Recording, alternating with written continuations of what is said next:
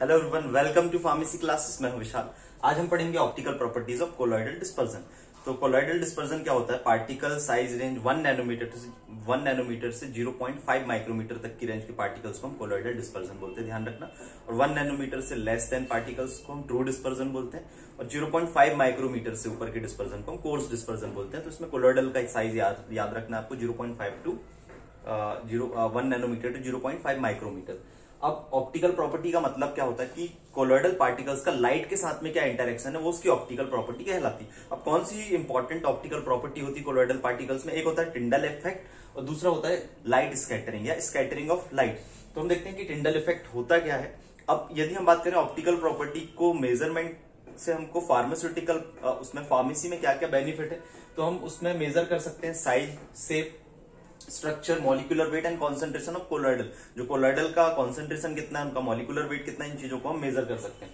तो Tyndall effect को हम देखते हैं कि टिंडल इफ़ेक्ट होता क्या है? जब लाइट जब लाइट बीम ऑफ़ लाइट को जब हम ट्रू सॉल्यूशन से पास करते हैं ट्रू डिस्पर्जन से पास करते हैं तो उसमें जो पार्टिकल्स हैं, वो किसी भी तरीके से लाइट को स्कैटर नहीं करते हैं जो उनका पाथ होता है, वो विजिबल हमको नहीं होता है। लेकिन जैसे ही हम कोलोइडल डिस्पर्जन से लाइट को पास करते हैं तो जो उनका पाथ होता है जहाँ से पार्टिकल्स में से लाइट पास होती है वो जो पाथ होता है वो विजिबल होने लगता है जिसको कि हम एक कौन तरीके का बनाते हैं जिसको हम टिंडल कौन बोलते हैं। और इस, इस बीम को स्कैटर्ड बी, बीम को हम टिंडल बीम भी बोलते हैं। तो इस तरीके से ये कोलोइडल डिस्पर्जन की प्रॉपर्टी होती है। जैसे कि हम देखें कि हम जब जो रोशनदान से लाइट आती है यदि हमारे हाथ में लाइट पड़ती है और हम लाइट देखते हैं तो वो एरिया रेड दिखाई देने लगता है क्योंकि जो हमारा ब्लड जो सॉल्यूशन होता है ब्लड का वो कोलाइडल डिस्पर्जन के फॉर्म में होता है। फिर हम बात करें लाइट स्कैटरिंग क्या होती है कि जब लाइट सोर्स किसी पार्टिकल में पड़ती है तो ये पार्टिकल्स लाइट को सभी डायरेक्शन में स्कैटर कर देते हैं तो इसको हम लाइट स्कैटरिंग बोलते हैं। इसका मैकेनिज्म एक्शन क्या है? लाइट स्कैटरिंग के दो मैकेनिज्म होते हैं इसके। एक तो पहला ये कि जब पार्टिकल्स लाइट सोर्स से लाइट पार्टिकल में स्ट्राइक करती है तो जैसे ही स्ट्राइक करती है पार्टिकल में तो पार्टिकल में डायपोल इंड्यूस हो जाता है। डायपोल इंड्यूस होने से जो पार्टिकल होते हैं डायपोल फॉर्म में वो क्या करते हैं कि आपका एक वेवलेंथ को रिलीज़ करते हैं जो कि ऑल डायरेक्शन में आपका स्प्लिट होती है, जिसको कि हम क्या बोलते हैं? स्कैटरिंग लाइट का स्कैटर होना। दूसरा रीजन ये होता है कि इनमें जो रिफ्रेक्टिव इंडेक्स का वेरी होना डिफरेंस होने के कारण।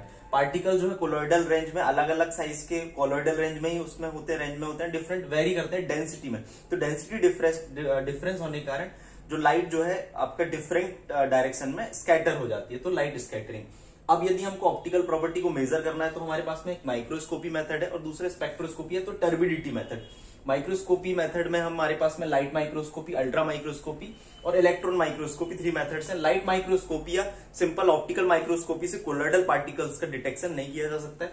तो अल्ट्रा माइक्रोस्कोपी, जिसको कि हम डार्क फ़ील्ड माइक्रोस्कोपी बोलते हैं, इससे हम करते हैं। तो यदि हम बात करें तो हम इसमें ऑब्ज़र्व करते हैं टिंडल इफ़ेक्ट को ऑब्ज़र्व करते हैं। तो इसका यदि हम देखें कि वर्किंग प्रिंसिपल या इसका इंस्ट्रूमेंटेशन देखें तो लाइट सोर्स जो है, होती है सिलेंडर के थ्रू कंडेंसर के थ्रू ये पास होती है। और एक सैंपल सेल में एक सैंपल रखा है सैंपल में लाइट पड़ती है। जो सैंपल में लाइट पड़ने से कोलोइडल कोलोइडल प्रॉपर्टी क्या होती है? लाइट को स्कैटर करना। डार्क बैकग्राउंड होने के कारण हम इसको माइक्रोस्कोप जो कि यहाँ इसके परपेंडिकुलर लगा हुआ होता है, उससे हम देख सकते हैं। और इसके थ्रू हम जीटा पोटेंशियल को मेजर कर लेते हैं अल्ट्रा माइक्रोस्कोपी से। अल्ट्रा माइक्रोस्कोपी से ज़्यादा इफ़ेक्टिव टेक्निक होती है इलेक्ट्रॉन माइक्रोस्कोपी इलेक्ट्रॉन माइक्रोस्कोपी में जो लाइट सोर्स के तौर पर हम क्या यूज़ करते हैं? हाईली एनर्जेटिक इलेक्ट्रॉन बीम का यूज़ करते हैं, जो कि क्या करती है? जिससे कि हम इलेक्ट्रॉन माइक्रोस्कोपी से पार्टिकल्स का, उनका कोलोडल रेंज के जो है साइज़ शेप और उसका स्ट्रक्चर भी फाइंड आउट कर सकते हैं और उनका एक फोटोग्राफिक स्टेटस भी देख सकते हैं। फिर हम बात करते हैं टर्बिडिटी मेथड में तो हम इसमें कॉन्सेंट्रेशन और molecular weight of colloidal dispersion को मेजर कर सकते हैं। तो इसमें दो मेथड होती है, ध्यान में रखना है कि स्पेक्ट्रोस्कोपी और नेफेलोमीटर तो डिफरेंस क्या है स्पेक्ट्रोस्कोपी और नेफेलोमीटर में? जब हम लाइट सोर्स से लाइट स्लिट के थ्रू एक पॉइंट के थ्रू पास होती है तो जो लाइट पास होती है दैट इज़ इंसिडेंट लाइट और सैंपल से पढ़ने के बाद में ये ट्रांसमिटेड होती है ट्रांसमिटेड लाइट तो स्पेक्ट्रोफोटोमीटर में या स्पेक्ट्रोफोटोमेट्री में हम ट्रांसमिटेड लाइट की इंटेंसिटी को मेजर कर लेते हैं और ये लायोफोबिक कोलॉइड के लिए मेजर कॉन्सेंट्रेशन मेजर करने के लिए इंपॉर्टेंट होती है स्पेक्ट्रोफोटोमीटर में. ध्यान रखना कॉम्पिटेटिव एग्ज़ाम में क्वेश्चन पूछ सकता है। फिर नेफिलोमीटर में क्या करते हैं कि जो लाइट आपकी ट्रांसमिटेड होती है, उसको ना मेजर करके हम स्कैटर्ड लाइट को मेजर कर लेते हैं और लायोफिलिक कोलाइट का कॉन्सेंट्रेशन हम इसमें फाइंड आउट कर सकते हैं। तो यदि हम देखें स्पेक्ट्रोफोटोमीटर को हम इस तरीके से फॉर्मूले में भी बता सकते हैं टर्बिडिटी को डिटरमाइन कॉन्सेंट्रेशन को डिटरमाइन करने के लिए। I upon I zero is equal to tau and L तो ये क्या होता है? आई इंसिडेंट लाइट की इंटेंसिटी और ये ट्रांसमिटेड लाइट की इंटेंसिटी टाउ जो है आपका टर्बिडिटी को इंडिकेट करता है और एल जो है जो आपका सैंपल सेल का पाथ लेंथ है, उसको सेंटीमीटर में उसको डिनोट करते हैं। तो ये आपका जो है optical properties of colloidal dispersion के बारे में आप ये बता सकते हैं।